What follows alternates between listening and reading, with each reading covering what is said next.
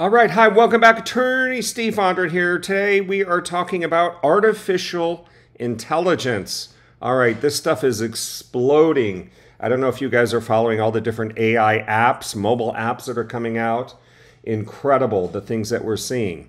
So here we have the California State Bar, the Cal Bar, um, that regulates lawyers and uh, does things for the public and whatnot. Um, they have come out with a set of guidelines, practical guidance for the use of generative AI, let's just call it AI, in the practice of law, okay?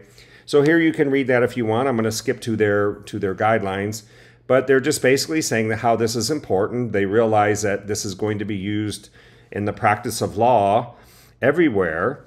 And so they're just putting out some guidelines as to what you need to be able to to do in your practice and things to think about. Ethically, mainly in regards to your ethics, okay? Here's some of their tips. All right, number one, in regards to duty of confidentiality. As lawyers, we have the duty of confidentiality to our clients. AI products are able to utilize the information that is input.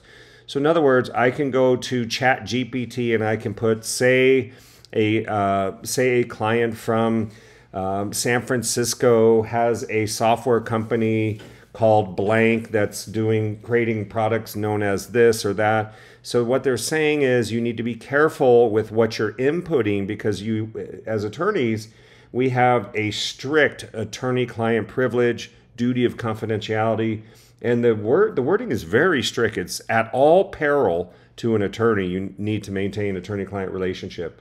So um, they're suggesting that um, including prompts and uploaded documents. There are tools now where you can upload a document and it will analyze it. For example, I have LexisNexis that I use for my um, search tool. And you can upload a pleading, and you can it can analyze a pleading for you and give you tips and suggestions, which, which is incredible. So when you're doing things like that, be careful that a lawyer must not input any confidential information of the client into these solutions. A lawyer must anonymize client information or redact, as we sometimes call it, and avoid entering details that can be used to identify a client. So it seems kind of common sense, and but again, you know, not all lawyers know how to handle new technology, and nor do we know what the new uh, products are going to offer, what the offering is. And they may say, input the name of your client. Well, just because it says it doesn't mean you can do it. A lawyer or law firm should consult with IT professionals or cybersecurity experts to ensure that any AI system in which a lawyer would input confidential client information adheres to stringent security, confidentiality, and data retention. Make sure you're working with, I mean, let's face it, there are going to be thousands and thousands of artificial intelligence programs that are going to pop up, websites, analytical tools, mobile apps. There's going to be all these things popping up and you shouldn't just willy-nilly start using any company that you know is holding out its shingle. Make sure you're working with a reputable company. A lawyer should also here review the terms of use or other information to, to determine how the product utilizes the inputs.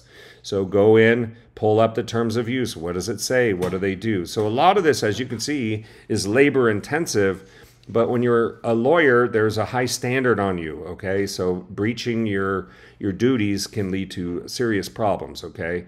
So uh, be careful, review the, the terms of use. A lawyer who intends to use confidential, confidential information in a AI product should ensure that the provider does not share. Uh, okay, all the companies these days want to share your information. That's what we call uh, privacy. That's what privacy law is all about. Make sure they're not sharing that information. And that's a big key because I'll, I'll be honest with you, most companies you work with are probably going to say we share that information. So you need to think about whether you actually want to do business with them. Next, duties of competent and competence and diligence. A lawyer has a duty of competence, diligence. It is it, it is possible that AI generative outputs could include information that is false, inaccurate, or biased. Okay. I don't know about the biased personally, but I have seen false inaccurate all day long on Chat GPT. And matter of fact, last time I went to look uh, to search on Chat GPT for a, a legal question and, and requesting citations, it spit out some uh, answers that were not good. And then recently, I have found that they don't even answer legal questions anymore. So you can check that out, see if it's true. But that's what I have found. A lawyer must use and ensure competent use of the technology, including the associated benefits and risks, and apply diligence and prudence with respect to facts and law. Before using uh, AI, a lawyer should understand to a reasonable degree how the technology works. That may not be simple, may not be easy to figure out how the technology works, okay? Um, its limitations and the applicable terms of use and other policies governing the use and exploitation of client data by the product. Me personally, I would never put any client data into any of these systems or any other system. Um, I think that's way too risky.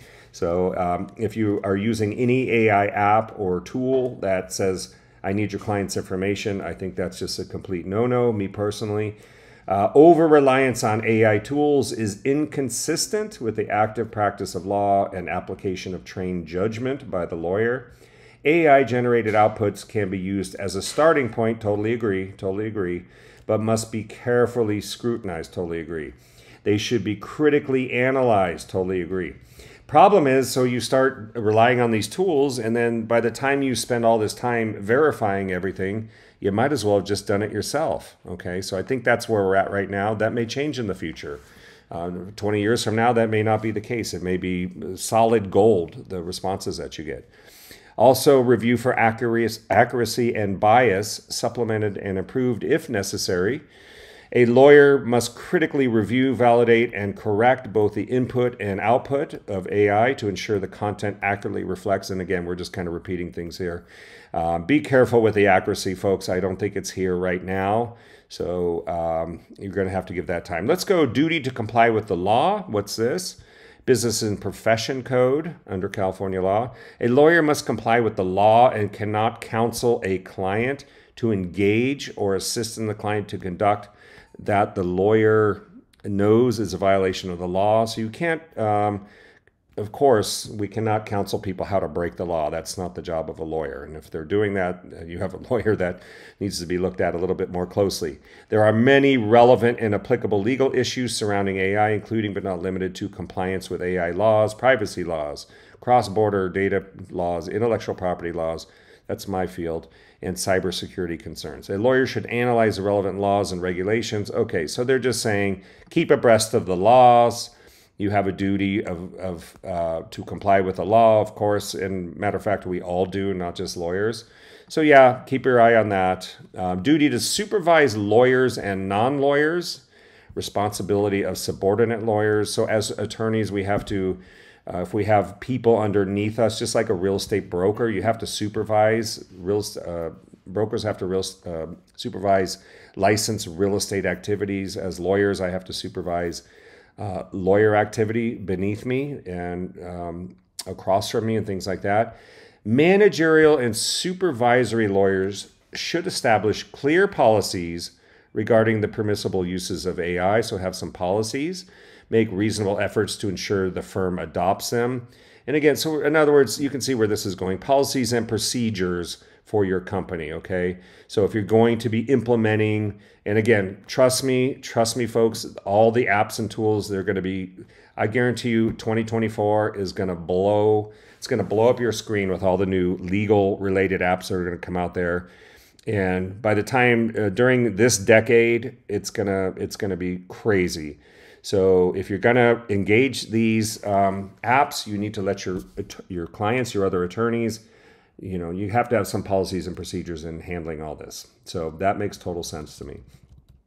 Next, communication regarding AI use. A lawyer should evaluate their communication obligations throughout the representation based on the facts and circumstances, including the novelty of the technology, risks associated with generative AI use, scope of the representation, and the sophistication of the client. So if you're dealing with tech clients, they're probably not going to require as much. And if people don't know anything about the tech, you probably have a bigger duty to explain what you're doing, how you're using AI, and how this could be to their benefit. while also guarding against any potential risks of, of ineffective rep- representation. The lawyer should consider disclosure to their client that they intend to use the AI, including how it will be used, the benefits, the risks.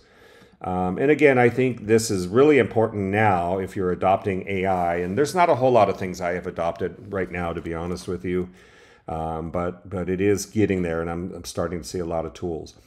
Uh, charging for your work, a lawyer has to charge reasonable fees. We all know that. That's an ethical rule. Attorney fees must be reasonable, and there's a bunch of factors that determines what's reasonable. But a lawyer may use AI to more efficiently create work product and may charge for the actual time spent. We know that. Example, crafting and refining inputs and outputs and prompts. Okay, this is going to be a big area, folks for your kids, um, learning how to be a prompt master, how to master prompts in all the different industries in the world, which are quite a few, how to get the most out of AI. Trust me, that's going to be there's going to be majors for that, college majors.